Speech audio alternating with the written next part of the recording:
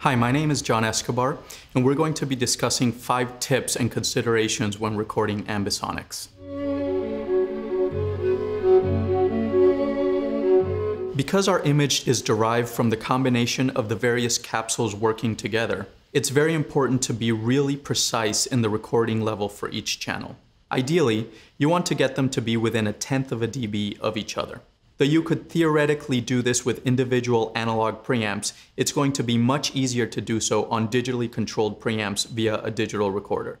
This also allows you to link pairs or groups of channels together so that one gain knob or fader controls all the channels involved, making setting your levels much easier. Another benefit of working with a digital recorder is that you can also record your audio at a higher sample rate, which means that you've got more digital fidelity. And because we're capturing 360 immersive audio, that means that you get more detail out of the environment that you're capturing. We're trying to get our recorder to within a tenth of a dB from channel to channel. In order to do that, you can easily use pink noise or any other kind of test tone to accurately calibrate those signals. Whatever you decide to use as your signal test tone, as you set your gain staging for your preamps, you're going to want to make sure and leave 12 to 16 dB of headroom so that as your performance happens, you've got room for dynamics. Keep in mind that even though your signal generator is now going to be showing even signals across all of your channels, when you're actually capturing your recording, you're going to see signals vary from channel to channel depending on the source that you're capturing. Regardless of what your recording might be used for later, it's really important to be aware of the acoustic space around you when dealing with placing your microphone.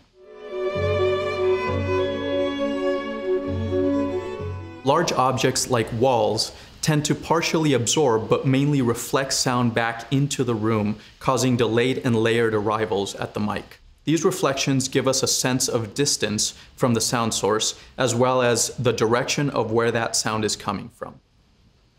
The louder a sound source is, the more air pressure there will be in the room and the reflections will be more obvious. The reflections will arrive at each capsule and provide a sonic image much like our ears get. In this example, we can hear the proximity to different sides of the room and its reflective surfaces.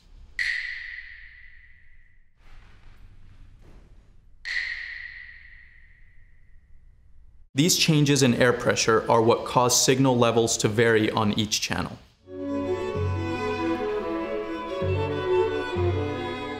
If you are making ambisonic audio recordings to use as a bed in which to layer other sound sources, you will want to pay attention to all of the details that make up the sonic texture of that space. You can pick a central location in the space which gives you a good balance of the overall environment and use that as your mic listening position.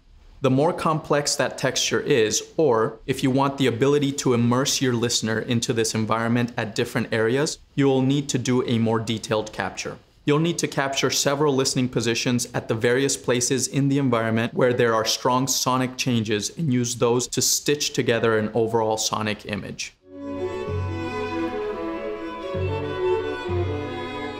When using ambisonics to capture a musical performance, you should have a clear idea of what perspective you're hoping to capture. Will this be the vantage point of an audience member, or will you be allowing the listener to get a performer's perspective? In either case, you'll want to be aware of the dynamic balance of the ensemble in the space, as this balance will be reflected and perhaps exaggerated in the microphone's capture. You need to either move the microphone around until you find a well-balanced listening position, or adjust the player's positions in relation to the mic. You may also choose to add spot microphones at each instrument to help you capture fine tonal and dynamic details. Higher order ambisonic microphones help this by having more capsules and therefore dedicated points of reference in each direction. The final thing when we're dealing with mic placement is that often in an ambisonic recording, we're dealing with 360 degree video. This adds a little bit of complication because the camera is also seeing around itself, which makes it a challenge to pair the microphone to the angle of the camera. So A, you need to make sure that the microphone is out of the sight of the camera, yet still paired with your visual. B, you need to make sure that the camera noises like fans are not affecting the input of your microphone, or rather what it's listening to. And C, depending on the type of tripod or camera stand that you're dealing with, it doesn't become an obstacle of sound into your microphone. Generally, when making a recording, you're gonna want to be listening to what that sounds like in real time. Unfortunately, this is one of the aspects that's a little bit tricky with ambisonic recordings.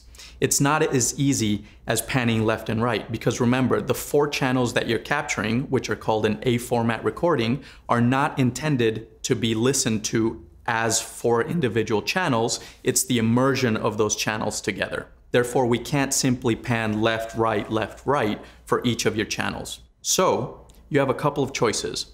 You can either do what we call a fold down or do a pseudo stereo by picking two of the channels and panning one left and one right. The other option is to do a real-time A to B conversion. You can do this on some DAWs using plugins, or if you happen to be using one of the more modern field recorders, they will sometimes provide real-time A to B conversion right onto the recorder. There's a lot of fine details when capturing ambisonics. Some of the details that you're going to want to be keeping track of are the calibration. Not only what did you use as a test tone, but what levels were you getting when that test tone was playing back through your system and into each channel. Also, you're going to want to make sure and document the directionality of your microphone towards your sound source, especially if you're pairing that recording to a visual. Was your microphone front facing? Was it upside down or was it end fire? All of these together later in post-production are going to help you accurately recreate the environment that the microphone was in. Even though it might seem like a lot to remember, keeping these five tips in mind when recording ambisonics will result in a better recording.